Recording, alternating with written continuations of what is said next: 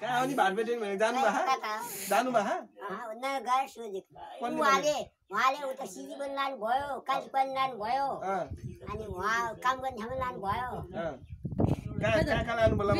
ल लानुभयो कालिका मन्दिर लानुभयो हो अँ, यस्तो माया मेरो दिदी भन्दा धेरै माया गर्नु। मन्दिर जाने अरूहरूले पनि बोक्नु भएको थियो। मैले मात्र बोकेको होइन। मन्दिर जानेहरूले पनि तपाईँलाई गाह्रो भयो भनेर बोकेर लानु भएको थियो नि त.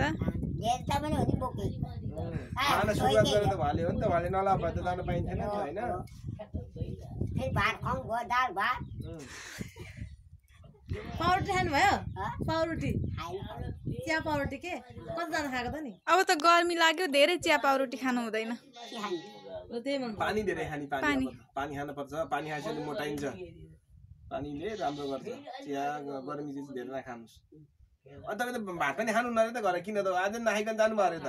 अब भात अब म उहाँलाई सोध्नु बिहान भात पाउने बाँचमा थाहा गएको सधैँ उहाँलाई सोध्नु त नपत्याए मैले जाँथे भाइ ढिलो पकाउँछ के खाना?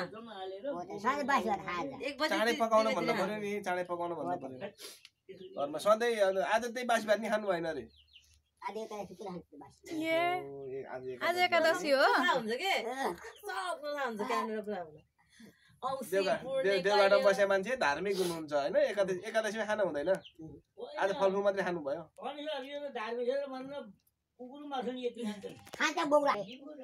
कहिलेको हो र त्यो कहिलेको पैसा हो यो? तपाईँको त गाउँभरि पैसा ल अरूले लहनले त उठाउन पर्दैन त। यस्तो पैसा मान्छेको पैसा नि अरूलाई दिने हो त। अब कोही बिदाई भयो माउ माउनु आउँछन् त्यहाँनि अब दिन मन लाग्दा आफू जस्तै होला। त्यतिकै।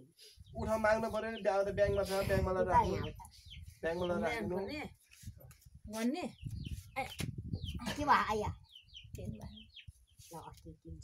ल भोलि चाहिँ त्यही हुन्छ है। के को पैसा दिनुभएको नि? अस्ति मासु लानु भएको थियो? पसल छ उहाँको? पसल छ। तपाईँको पसल तलको? ए अस्ति हामी आउँदा त्यहीँ हुनुहुन्थ्यो तपाईँ? म त्यही त थिएँ। हो र।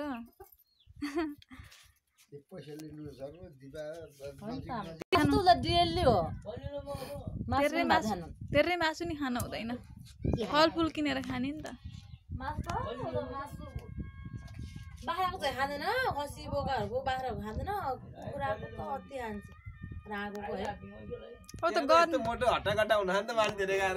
आजभोलि पहिलाभन्दा राम्रो पनि हुनुभयो अहिले फेरि दुब्लाउनु भयो अलि दौडा दौड छ है।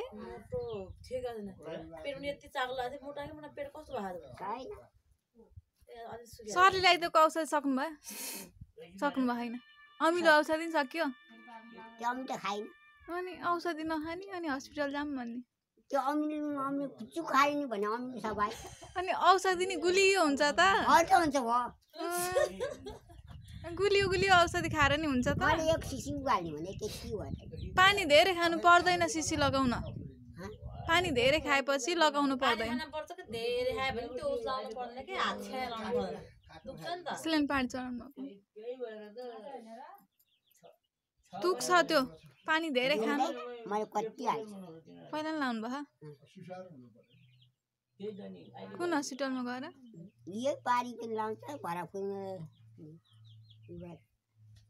के भन्नुभयो सरहरूले?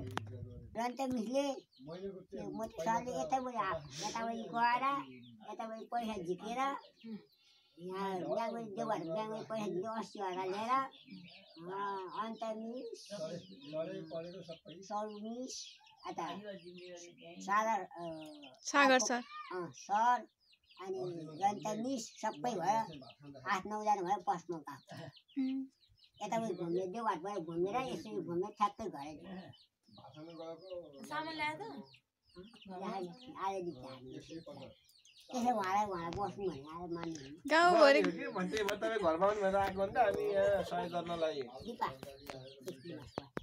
खारै छ त एकादशी भन्ने। आज एकादशी अनि आफूले चाहिँ नखाने अनि हामीलाई चाहिँ खुवाउने आफूले चाहिँ भातै नखाने रे अनि हामीले चाहिँ मासु खाऊँ भन्ने एकादशीमा अहिले जाने चिया पकाएर खाने पानी खाने अरू केही नखाने घर बनेसी बस्छु अहिले